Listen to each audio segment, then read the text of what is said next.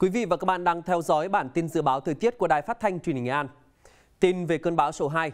Chiều nay, vị trí tâm bão ở trên khu vực phía Bắc đảo Hải Nam Trung Quốc, cách đảo Bạch Long Vĩ khoảng 220 km về phía đông, cách Móng Cái Quảng Ninh 200 km về phía đông nam, cách Phủ Liễn Hải Phòng 310 km về phía đông, cách Thái Bình 330 km về phía đông. Sức gió mạnh nhất vùng gần tâm bão mạnh cấp 8, cấp 9, giật cấp 11. Di chuyển chủ yếu theo hướng Tây Tây Bắc. Đêm nay, vị trí tâm bão ở trên vùng biển các tỉnh từ Quảng Ninh cho tới Nam Định và sức gió mạnh nhất vùng gần tâm bão mạnh cấp 8, giật cấp 10. Dự báo trong ngày mai, bão sẽ đi vào đất liền các tỉnh Bắc Bộ và suy yếu dần thành áp thấp nhiệt đới. Sau đó là vùng áp thấp trên khu vực Bắc Bộ. Sức gió mạnh nhất ở trung tâm vùng áp thấp giảm xuống dưới cấp 6.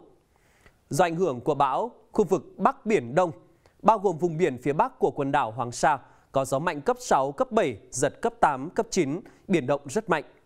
Khu vực Vịnh Bắc Bộ, bao gồm cả huyền đảo Cô Tô, Bạch Long Vĩ, gió mạnh dần lên cấp 6, sau tăng lên cấp 7. Vùng gần tâm bão mạnh cấp 8, giật cấp 10, biển động mạnh.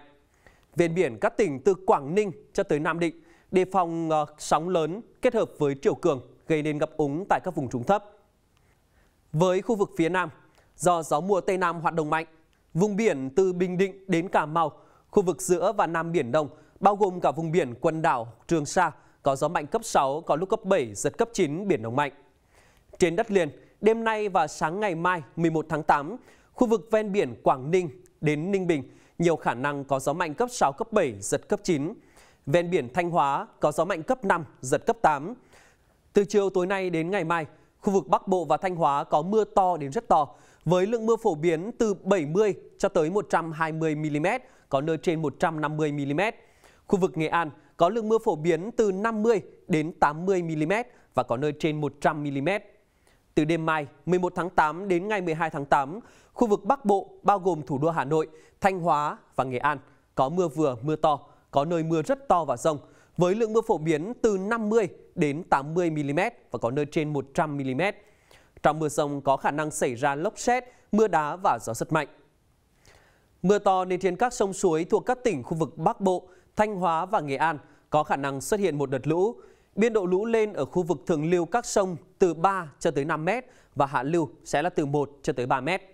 Nguy cơ cao xảy ra lũ quét, sạt lở đất ở vùng núi và ngập lụt cục bộ tại các vùng trũng thấp tại các tỉnh khu vực vùng núi Bắc Bộ, Thanh Hóa và Nghệ An. Phần cuối của bản tin là dự báo thời tiết các khu vực tỉnh Nghệ An đêm nay và ngày mai.